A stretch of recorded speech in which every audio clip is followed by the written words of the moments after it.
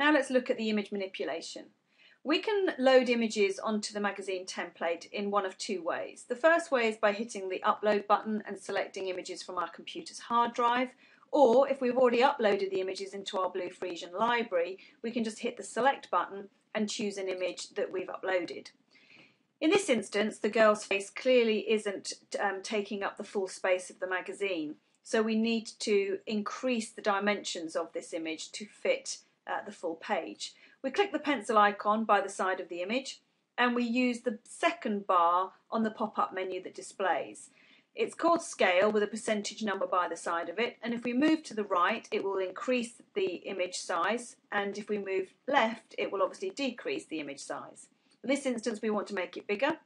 I'll exaggerate this by making it 180% bigger which we can see is clearly not going to work with this template so we'll take it down to 123% as an example. Now we might be happy with the way the image is on the magazine at this point, or we may want to move the image slightly to the left, to the right, up or down. To do this we use the dial above with the self-explanatory um, arrows. Um, what is important is the scale here. With every click of the dial the image will move a certain distance and that distance is dictated by the bar here above the scale bar, entitled move. If I only want to move the image a, small distance, for example a quarter of an inch, I'll, I'll, set the bar to the far left and click the image, uh, the arrow to the right. If that's too much, I'll click it back to the left. If I want to move it at a vast distance, I move the scale to the right and click the arrow in either direction. Clearly that's too far. Now, all of this image manipulation is important for the magazine because the template has got boxes and borders that the images sit within and you clearly need to make your image work within it.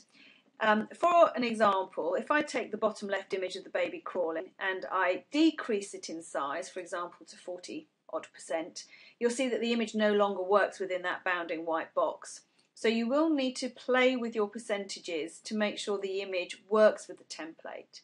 Now in this example I'm going to actually blow the image of the baby up um, because I don't want the father in the picture anymore, make it 163% and then I shall increase the scale of the move to an inch each time with each click, move the baby up, move the baby to the left.